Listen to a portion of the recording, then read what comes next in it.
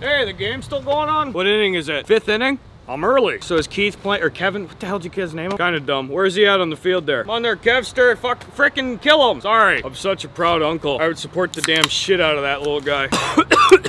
There was no smoking. I'll put it out between puffs. Come on, Devin. Where you guys keep the participation trophies for these little scamps? Surprised you even keep it score anymore.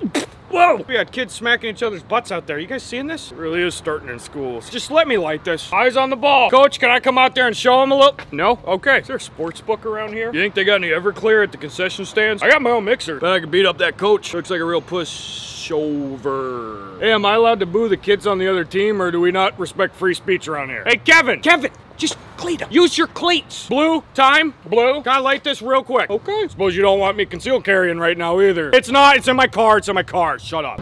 Yeah, Kenny! Kenny! Rev 'em! They lock up the field after these games, or they allow members of the community to run around the bases see if they still got it. You guys mind if I go take a couple very loud speakerphone work calls right beside the dugout? Yep, no, Jeff, I can hear you.